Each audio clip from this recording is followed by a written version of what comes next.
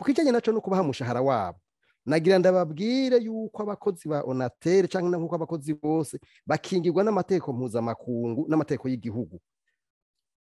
Umukozi akoze akazi ategerezwa guhembwa setandovuwari kuri leta e andruwa ku mukozi. Ni ukuvuga rero novuga ibintu byinshi cyane ngiye mu ibyo amategeko agenga akazi n'abakozi mpuzamakungu nkazana amategeko y'uburundi nteko bw'izwa nshingiro nkazana amategeko menshi menshi cyane ku buryo rero ata muntu n'umwe igiti cyose yo bafise ashobora kuvuga yuko umukozi adashobora kuronka impembo yakoze. Kuko erega acaza kuyitwara kandi yitwaye ntabwo ashobora kumutsinda yarakoze. Ntibishoboka.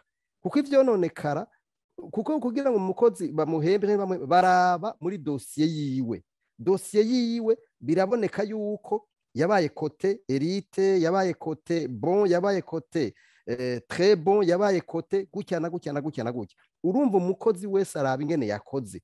Mugabo ibijyanye no kugenda neza kugenda nabi kwishyira hamwe ntibibazwa umukozi. Bibazwa inzego zishigwaho kandi zibaza ingene zigomba gukora. Kuko onatere si ishyirahamwe pirive bavuga ngo rirahera rigende.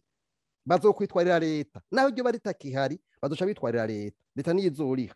Mugabo icyiza cyabyo ni uko abakoze amakosa kubera ryategwa nababwira ryitwa aruwasi lakisiyore kiriswari ni ukuvuga yuko abakoze ayo makosa nabo leta irashobora gushiza kubitwarira kugira ngo nabo barihe ibyo bintu bononye. Rero icyo nubabwira cyo cy'abakozi babona tere borema bashobora kutayaronka uno munsi mugabo icyo bazoyaronka.